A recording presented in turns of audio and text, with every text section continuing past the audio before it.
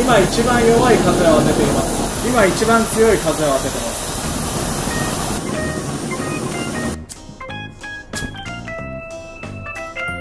す。全世界の皆さんこんにちはこんばんはタナです。え本日はキャンプでえ必要なバーナーですね。バーナーを8種類用意してみました。で、えー、こちらから1234567外の G ストーブ外のレギュラーストーブレギュレーターストーブ、えー、コールマンの F1 パワーストーブ、えー、プリムスのウルトラバーナー、えー、プリムスのプリムスのバーナー。で、えー、こちらが最近出たばっかりの、えー、卓上コンロになるんですけれども、えー、せっかくなんで、えー、比較をしてみようと思います。で、えー、一番前にあるこちらがトランギアのアルコールストーブです。まあ、持っていく時にあのいろんな燃料が、えー、種類があります、まず1つ目が、本日主に紹介する、ガスですね。でガスの中にもこの CB 缶という、カセットボンベと、こちらが OB 缶という、アウトドア缶というふうに呼ばれているタイプがあって CB 缶に関しては今今日は3種類用意してます。で、えー、種類は違うんですけれども基本的にあのこちらの形状の規格は同じなのでどれでも使えるはずです。で100均とかにも売っていて比較的あの手に入れやすい燃料なので、まあ、こちらをあの好んで使われる方もいらっしゃいます。OB 缶に関してはえ売っているところが割とあの限られていて、まあ、今だと Amazon とかどこでも買えると思うんですけれども、え現地で例えば燃料を忘れてすぐに購入しなくちゃいけないような時は、え手に入れるのがそんなに簡単ではないかもしれないです。で今日用意しているこの3つに関してはここの高さがあの高いタイプ、えー、これ半分ぐらいの小さいタイプもあるんですけれども僕は基本的に大きいタイプを使っているんで、えー、こちらを、持ってきていますと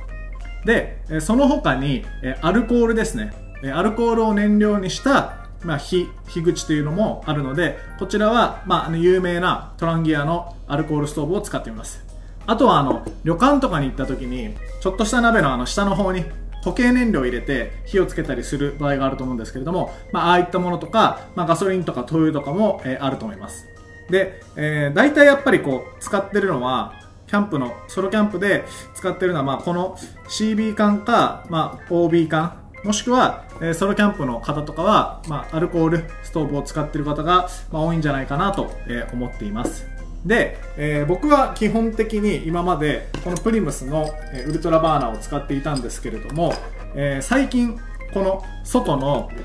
バーナーも手に入れて、何気に、あのー、まあ、おしゃれですし、え使用頻度も増えてきました。で逆にあのこちらのアルコールストーブに関してはそこまでまだ実は使いこなしているわけではないので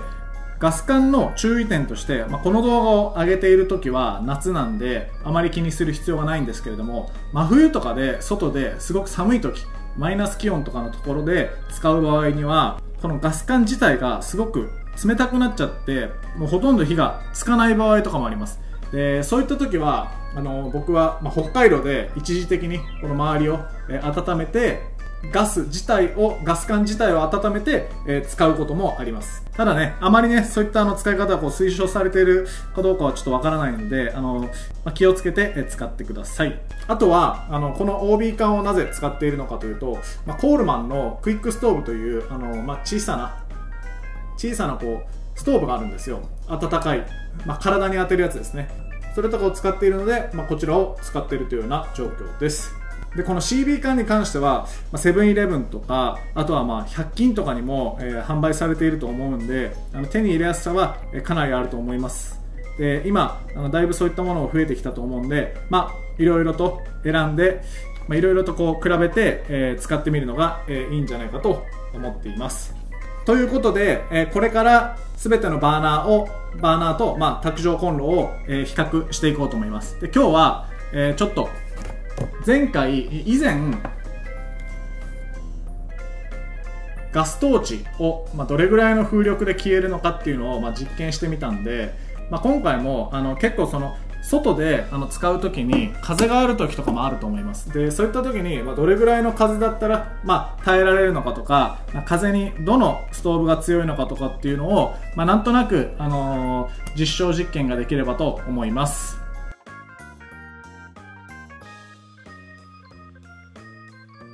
はい、えー、それではまず1つ目ですね。こちらが外、えー、新富士ですね、えー、G ストーブ。STG の10ですね。でこちらが Amazon で7340円で、えー、購入をしました。で重たさが 380g で、え、アルミニウムプラスステンレスで、え、作られているそうです。でこちらの幅が横が、え、15センチ。ででこちらはあの日本製となっています。で特徴としては、えー、ブック型という発想から生まれた超薄型。薄いですね。これまああの後であの開くんで、えー、かなり薄型のモデルになっています。え世界最薄のシングルバーナーというふうに、えー、表特徴には書かれています。25mm ですね。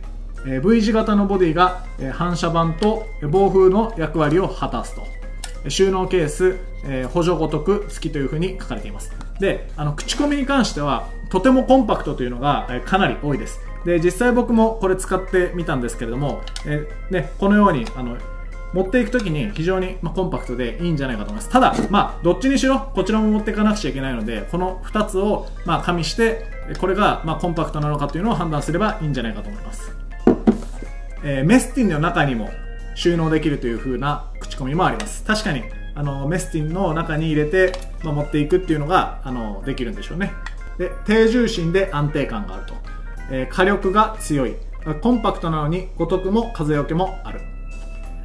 という風に、えー、書かれています。で逆に、えー、良くない点としては、え、組み立てが、ややこしい、やや難しいので、慣れが必要。かなり多数。まあ、あの、こちらに関しては、僕も、あの、一番最初は、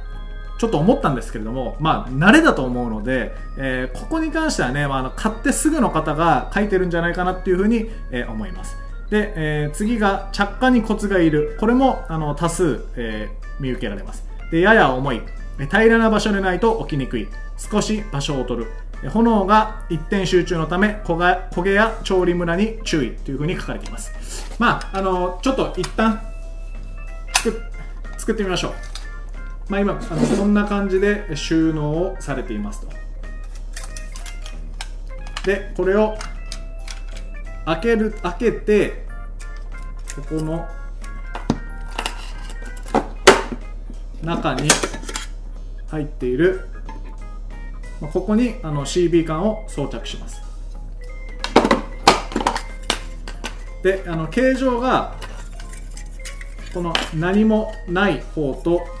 ちょっと複雑な方があるんでこの複雑な方にこちらを、えー、装着していきます。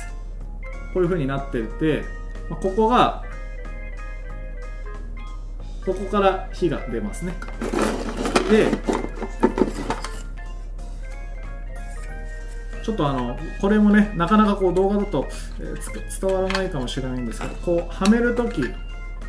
こはめるのが今こうやってこれではまったんですよ。ここが。多分おそらくこのはめるときがちょっとあのはめにくいっていう人が、ま、いるんじゃないかなと思いますね。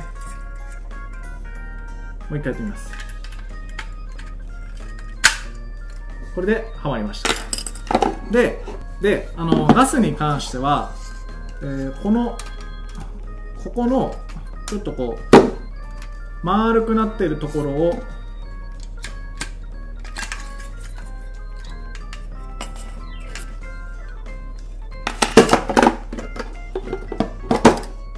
押し込んででこれをこうやって回すんですよね。そしたらこれがあの十字バッテンになって今しっかりと密着されてこう抜けなくなりました。はい。で、えー、ここの逆にしましょう。ここがこうやってすると火があのこちら側に来ないようになるので、えー、そういった役割があります。つけるときはここを回すとガスが出てくるのでこの向きぐらいですかね。これを回すとガスが出てくるので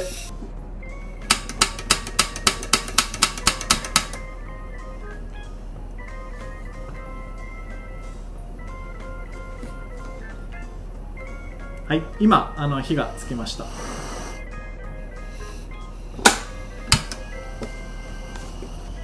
であのまあここで今火がついたら、まあ、この上に、えー鍋を乗せたり、えーします。で、えっと、ちょっと申し訳ないんですけれども今補助ごとくが本当はついてるんですけどそれが今あの見当たらないので、えー一旦ちょっとそのまま乗せてみようと思います。まあ、このトランギアのあの僕が使っているものは、えー 600ml のタイプです。でこの 600, 600ml のタイプはまあ普通にあの乗せてもそんなにこう問題はないかなと思いますね。でこう炎を今強くしたんですけれども、えー結構の口コミに書かれていた通りあの一点集中型なのかなと思います。なのであの確かにこうバーナーカットとかを使わなければバーナーカットとかを使わなければかなりなんですかねこう焦げ付きやすい可能性はえあります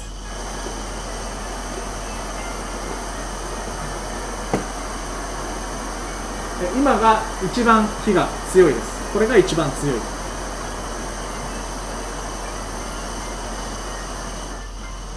でこう弱くなってますね。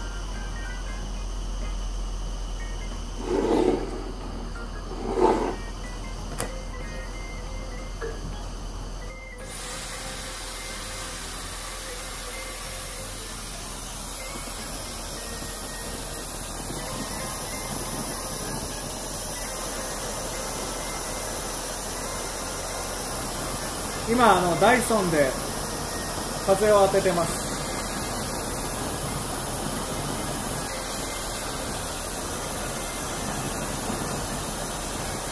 これが中くらいです。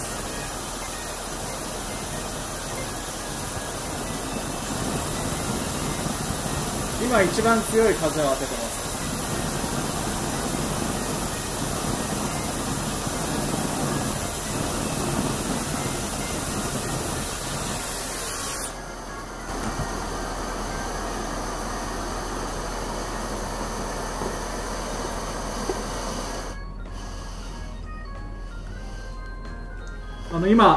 ご覧いただけたと思うんですけれどもダイソンで、まあ、一番強い風を、まあ、大体こう40センチ、まあ、50センチぐらいから当てたんですけれども特に問題なく、えー使用ができました、まあ、結構ね、まあ、今こうわざとこっちから風を入れてあの、まあ、その他のものとま比べてやってみたんですけども結構いいですね。じゃ逆に直角に当ててみます。風を直角に当ててみます。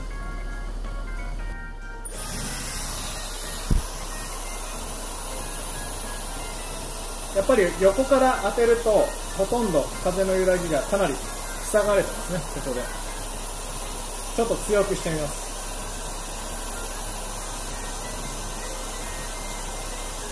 今これがダイソンの、えー真ん中の強さです。一番強くします。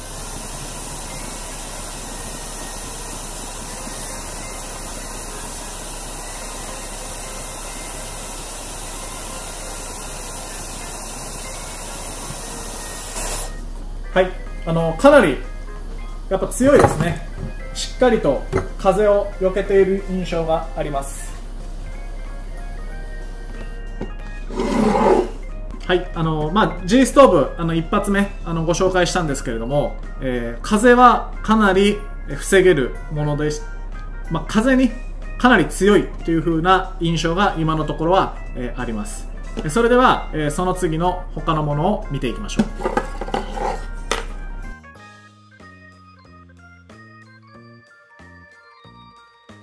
はい、えー次なんですけれども、えー外のレギュレーターストーブですね、えーこちらは Amazon で5610円で僕は購入しました。でえっ、とですねこう重たさがちょっと書かれてないんですけれども、えー CB 缶カセットボンベを使用します。でサイズに関しては、えーまあ、ちょっと割とねなんですかねこうしっかりとこう細かくちっちゃく収納はちょっとしにくいかなっていうような印象があります。特徴としては外気温が低下しても安定した火力と。火力が落ちにくいマイクロマイクロレギュレーター搭載。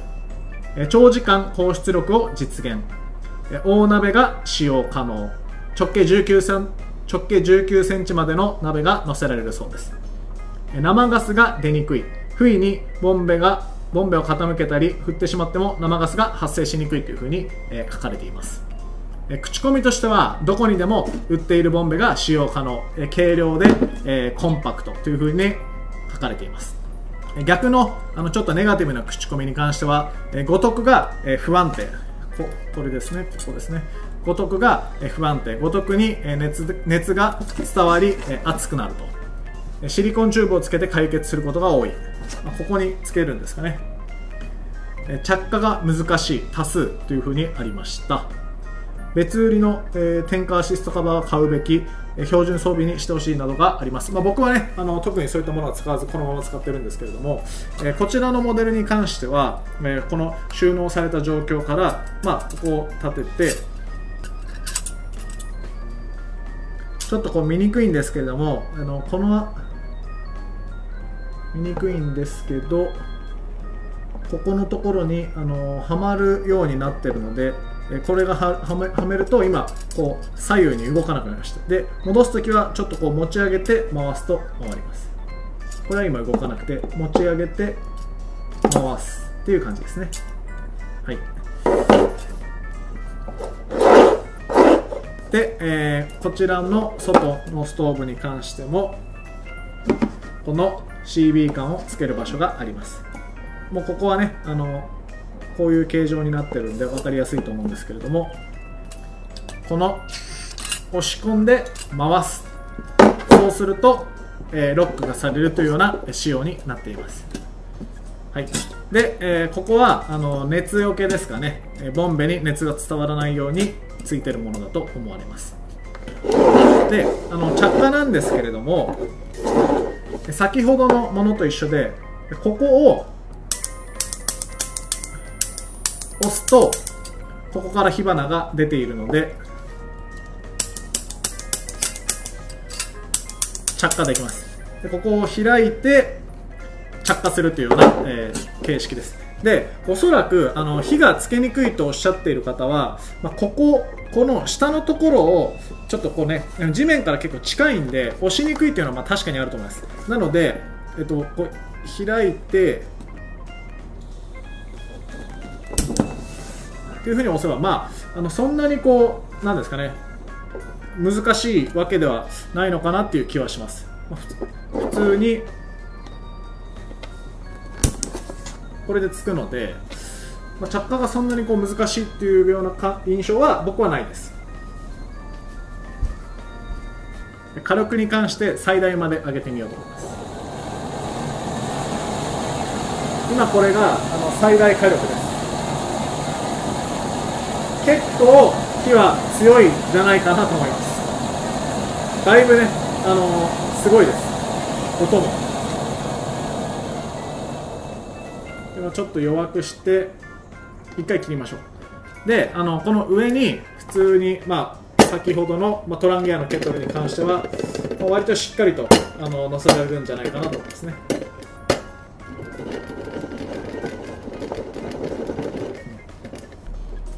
でちょっとあのメスティンを乗せてみます。メスティンに関してはまあそんなにこう安定はしないんですけど、まあ、普通に乗るかなっていう感じですね、まあ、今これ空なんで軽いんですけど。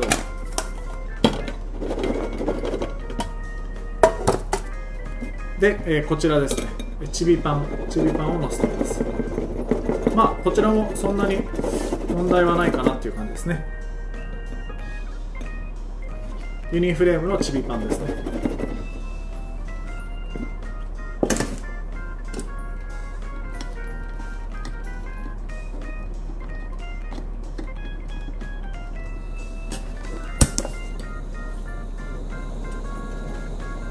ではあの最大風力にして風を当ててみます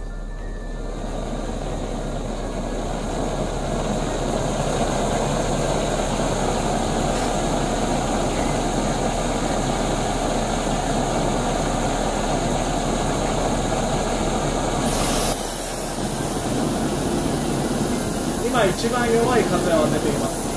結構一番弱い風でももうこの火がだいぶ消えかけてる部分があります。これが中ぐらいです。結構半分ぐらい消えてますね。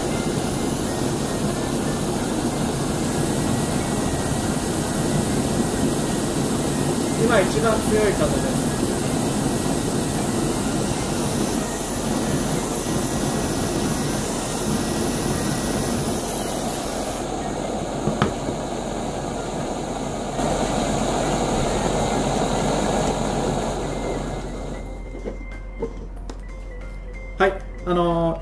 一応完全にこう消えたりはしなかったんですけどもう半分以上なんですかね、まあ、風に負けて、まあ、もちろんねあんだけ強い風なんで負けていたので、半分以上消えてましたね。なので、まあ、あの G ストーブほどは、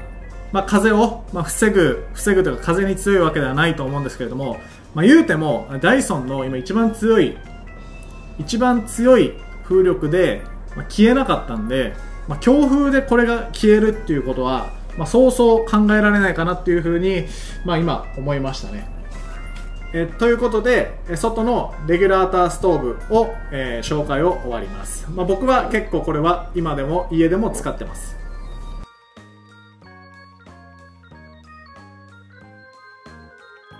はい。えー、で、次が、コールマンのパワーストーブですね。こちらは Amazon で、あこちらは、え Amazon、ヨドバシですね。ヨドバシで5690円で、え購入しました。で、軽さが、重たさが 146g で結構軽いですね。小さめです。えー、特徴としては、コールマンシングルストーブの中で最高のパワーというふうに書かれています。ガス管を外して、まあ、コンパクトに収納できると、まあ、ここまで、え収納できるんで非常に、えちっちゃくちっちゃいと思いますね確かにで、え良い口コミとしては、えコンパクトなのに火力が強い、え丈夫。で逆の口コミに関しては点火が難しいのでライター必須というふうに書かれています。どういうことでしょうね。点火難しいんですかね。まあちょっと。であのここはこちらに関しては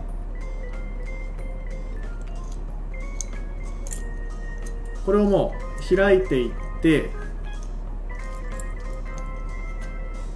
これで基本的には動かなくなりました、戻す時はこうやってすれば戻るんですけど4箇所で支えるという感じですね。で缶に関してはもう普通にここ形状を回していくだけで装着ができます。はいしっかり締めましょう。これで今あの装着が完了しました。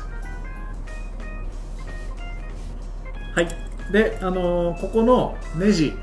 ネジのところを緩めるとガスが出てくるのであとはまあすぐ着火できました。特にねこうライターが他必要なのかっていうと僕はそうは思わないですね。でじゃあ火力を最大にしてみます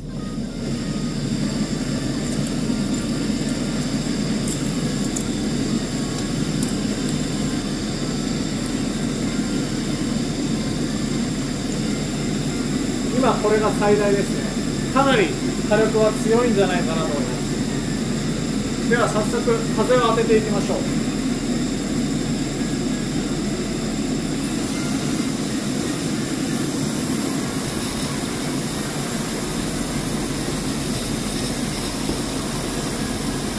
今一番弱い風です。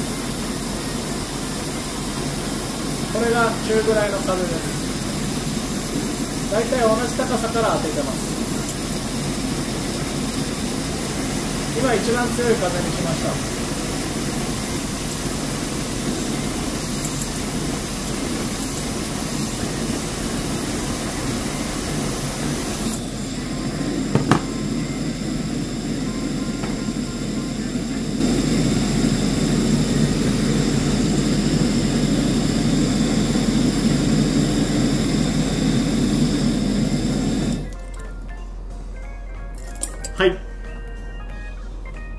思ってる以上に火力は強かったような気がします。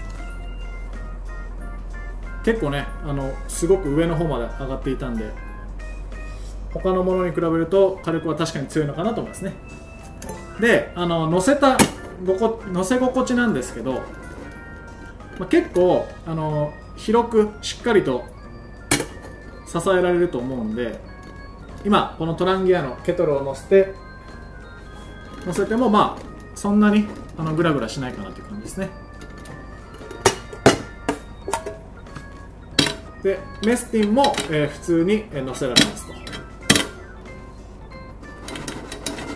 あ、ちょっとねこう揺らすと今物が入ってないんで揺れますけど。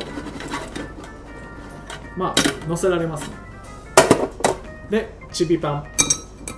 に関しても、えー、問題なく乗せられるというような感じですね。はい、えー、コールマンのパワーストーブ。まあ名前の通り確かにパワーストーブパワーはかなりあるんじゃないかなと思います。それでは次行きましょう。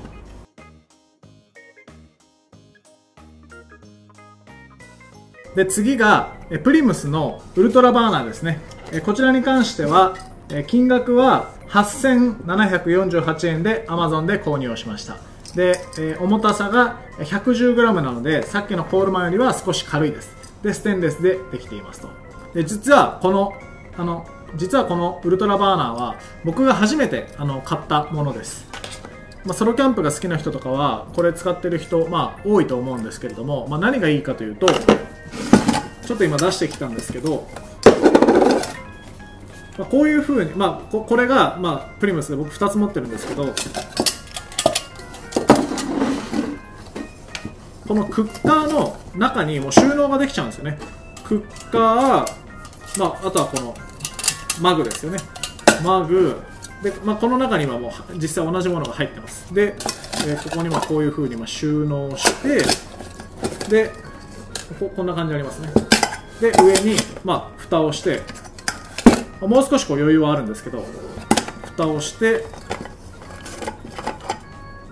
閉めてまあこれでこう持っていくっていう風なあの感じでもできるので結構コンパクト性はあのかなりあるんじゃないかなと思ってます。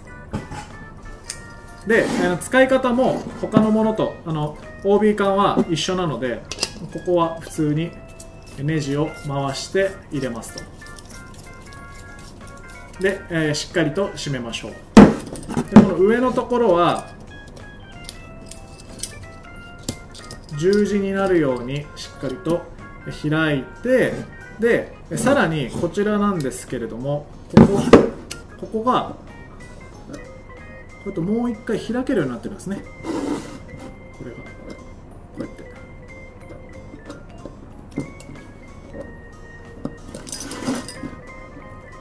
こう開くことによってこの面積が広くなるという感じですね、えー、トランギアのケトルに関してはまあ普通に乗っけられますね。まあ、結構僕これもう何十回も使ってるんで割と慣れてるっていうのもあるんですけどまあ使い心地はまあいいですね。でメスティンでご飯もこれまで何回も炊いたことがあります。ちょっとやっぱここギザギザになってますね。でチビパンもまあ普通に乗るという感じですかね。ただあのちょちょっとあのこのウルトラバーナーに限ったことではないんですけれどもこの OB 缶を使うタイプのものっていうのは割とこう高さが出ます。で僕特に今これ大きなタイプ使ってるんでこのちっちゃなタイプでもあの他のカセットガスのものに比べると高さが出るので安定性はやっぱり少し、えー、悪くなると思います。もちろん。あとは下がこう砂利とかちょっとこう不安定なところだとしっかりとあの整地してこう置いたりちょっとこう埋めこうやってこう回しながら地面になんですかね埋めてこう安定性がある風に置かないと上に置いてるものがこう落ちて、まあ、料理してたのに全部こうひっくり返っちゃったみたいなことって、まあ、僕も過去1回2回はあるので気をつけて使ってください。でちょっと火をつけていきますね。火をつけるのがここの黒いところを回すとガスが出てくるので反対側のこの着火するところでつけます。ではつけてみます。今つきました。で火力を最大にしてください今これが火力最大です。では風を当てていきます。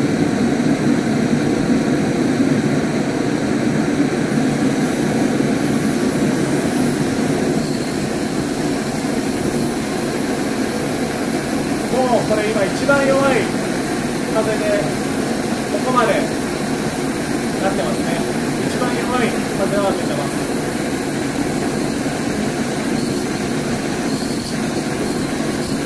これが2番目の風です。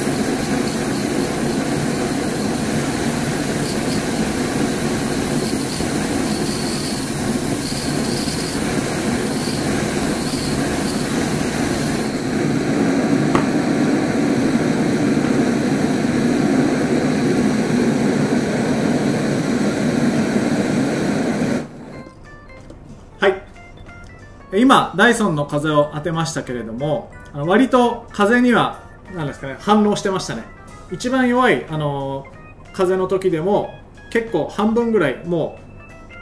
う消えてたので、ま、ただ一番強い風にしてもま消えなかったんで、まあ、全部、今のところは風にはやっぱ強いですね。あの、外で使う仕様なので。まあね、今みたいなこう風の時なんかもありえないんで、基本的に。風速何十メートルだっていう感じなんで、まあ、ないとは思うんですけれども、まあ、ちょっと実験なんでいろいろやってますね。でこちらのあのウルトラバーナーに関しては、えー、良い口コミに関しては、えー、火力コンパクト性が良いと。火力が強くてコンパクト性があると、えー、五徳が、えー、2段で調整できるのでさっきこう広げたやつですね、えー、2段で調整できるので、えーまあ、ガタつきが少ないというふうに書かれています。え良くない口コミに関しては音がうるさいかなり多数の人がいました。まあ、今、さっきね、あの、ちょっとつけたんですけど、まあ、コールマンも結構音してたんで、そんなにね、音が、まやかましいかっていうと、まあ、まあ、うるさいとは思う、うるさい方だと思うんですけれども、まあ、どうなんでしょうね。特別これだけがうるさいかっていうと、まあ、ちょっと先ほどので聞き比べてもらいたいです。えで、点火装置が壊れやすい、えガスの減りが早いというふうに、え書かれています。まあ、個人的には一番最初買ったっていうのもあるんですけれども割と気に入ってます。はいでは次いきます。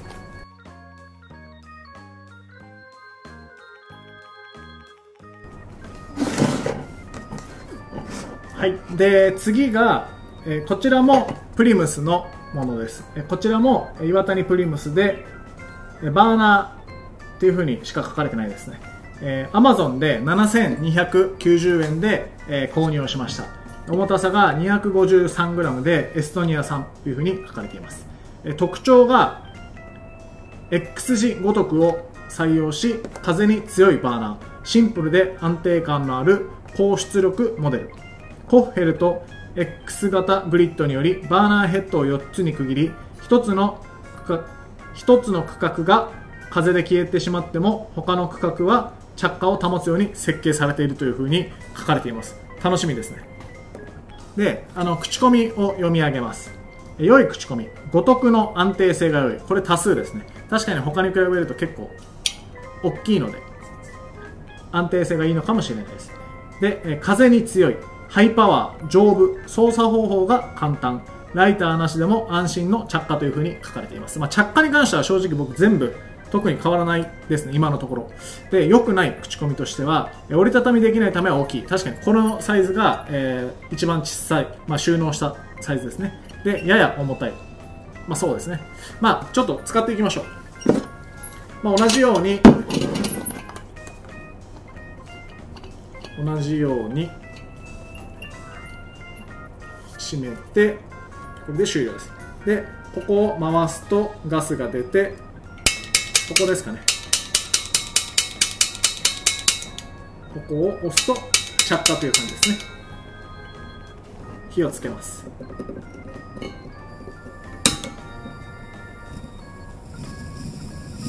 今火がつきました。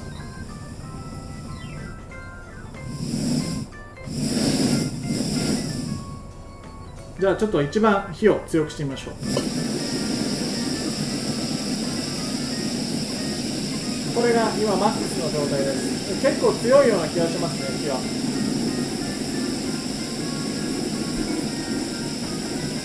それではダイソンやってみます。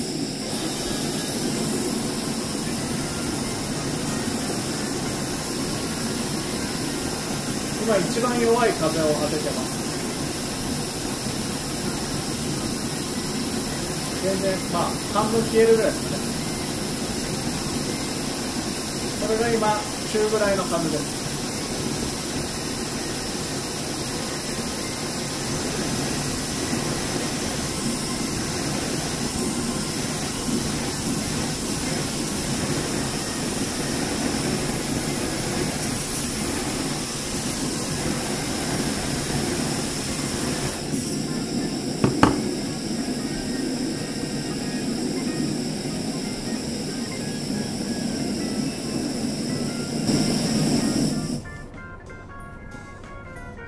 はい。今のダイソン、えー、全ての風を耐え抜きました。まあ、半分ちょっと消えたりする瞬間もありましたけど、まあ、ダイソンには勝てるっていう感じですかね。で、えー、ケトルを乗せています。確かにその他のものに比べると安定感はあります、まあ、安定感というか、まあ、当然ここが広いのでそれはあるんじゃないかなと思いますね。当然メスティンもしっかりと乗りますね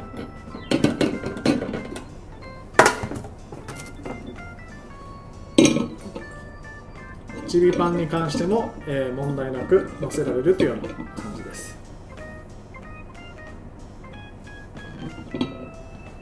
えー、ということで、えー、こちらのプリムスのバーナーの紹介を終わります。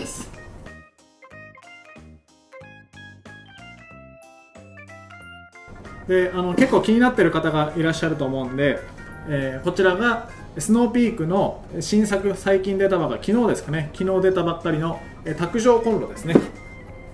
すごくかっこいいですね。あのこれあの別の動画でもあの使ってるシーンだけのものは上げてるのでそちらもまあ合わせて見てみてください。で、えー、使い方なんですけれども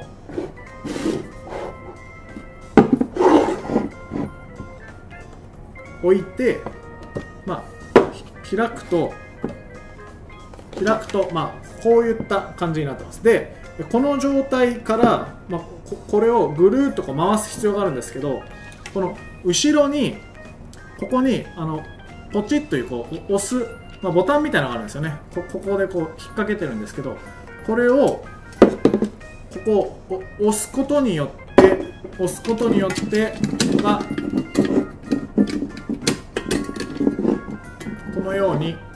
ぐるっと。こちらまで回ります。最初はこれがこう回ってこう入ってたんですけど今ぐるっと回りました。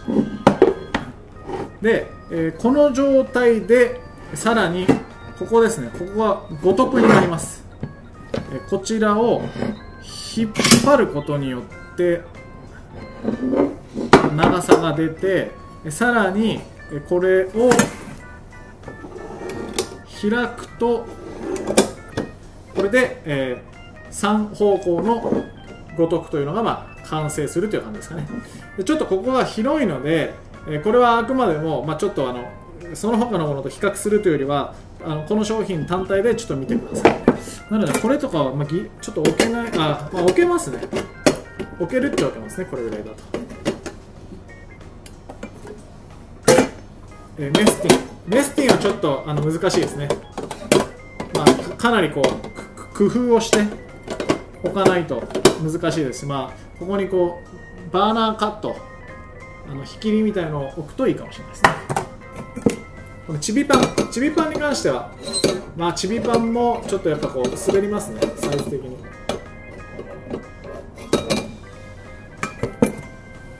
で、えー、この CB 缶をここにここですね。普通に押したらこれで装着が完了です。で閉めて今もうこの状態でここをひねれば火がつきます。ちょっと向きを変えます。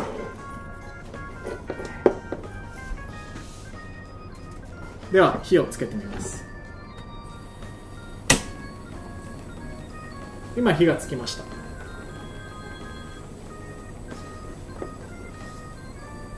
であのこちらなんですけれども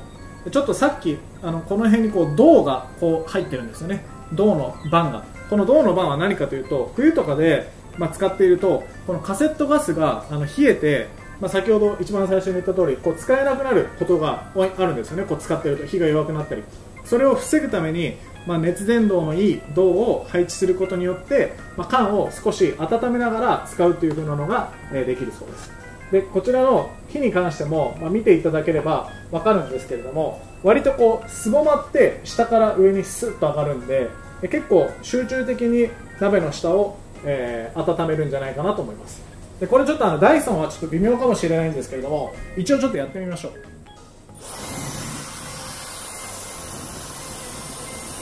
今これが一番弱い株です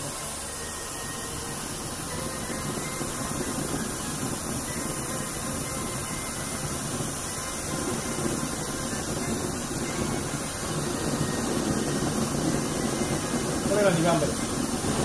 今一番強い強いですね意外に持ちますね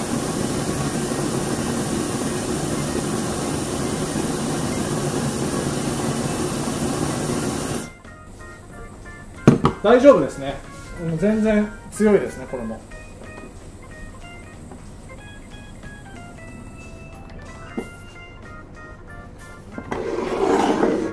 はい。えーまあ、収納するときは、まあ、さっきと逆なので、えー、省きます、まあ、他の動画で上げてるんでそれをご覧ください。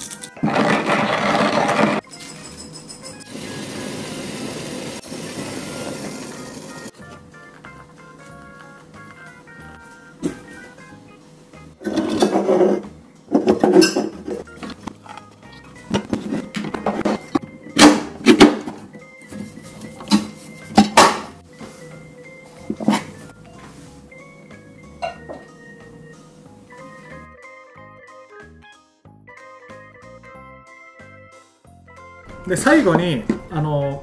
アルコールバーナーなんですけれども、えー、こちらは、まあ、形状としては形状としてはまこういう感じになっていてここの中にアルコールを入れて火をつけるとここからまあふわっと出るって感じですね。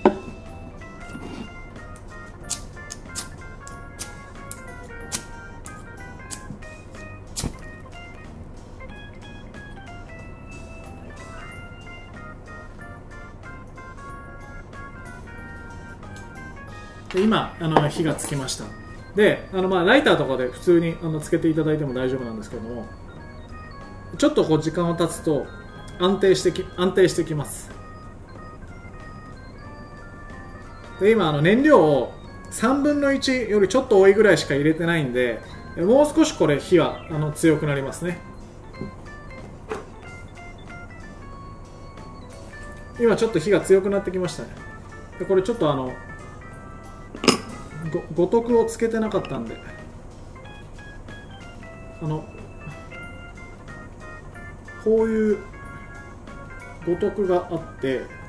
これをこうやってくっつけるとでこれを乗っけて五徳にするっていうような感じですね。でまあこの上に夜間を置いたりして夜間を置いたりあとはメスティンですね。メスティンとか結構これでご飯作ったりする人もいますね。で持っていく時もこの中にアルコールごとアルコールランプごと入れてアルコールストーブごと入れて持っていくっていう人も多いです。ちょっとこのチビパンあまあチビパンとかでもまあ全然乗りますね普通に。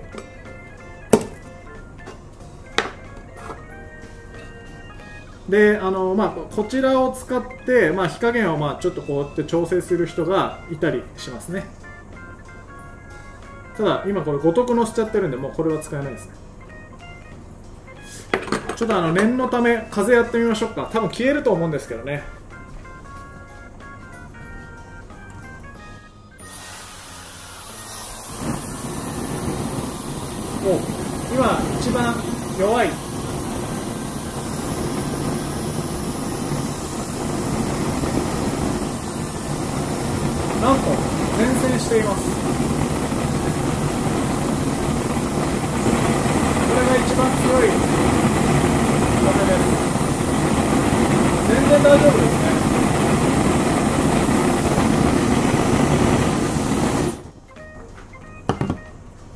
と予想外。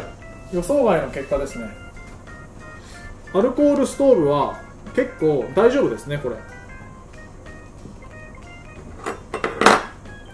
でこれ火消す時も普通にこれ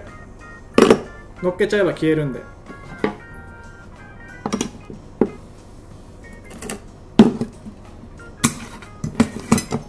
はい、えー、アルコールストーブ割と前線してましたね。ちょっとびっくりしました。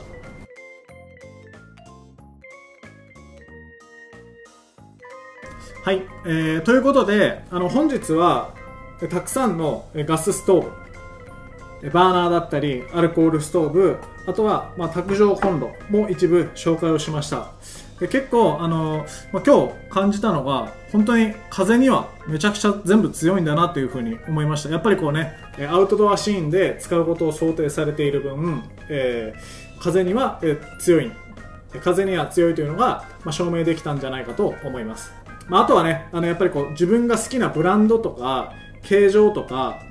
まあ、そういうのを見て選んでいくっていうのでもあのいいんじゃないかなと思いましたちょっとね、あの卓上コンロ、これはあのソロキャンプとかで、持っていくような代物でもないような気がするんで、まあ、家とか、あとはまあグループキャンプとかで、えー、使うもの、使うのはまあいいんじゃないかと思います。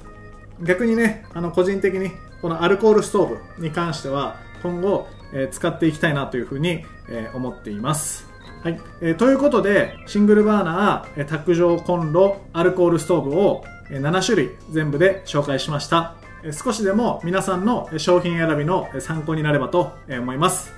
え本日もタナチャンネルを最後までご覧いただきどうもありがとうございました。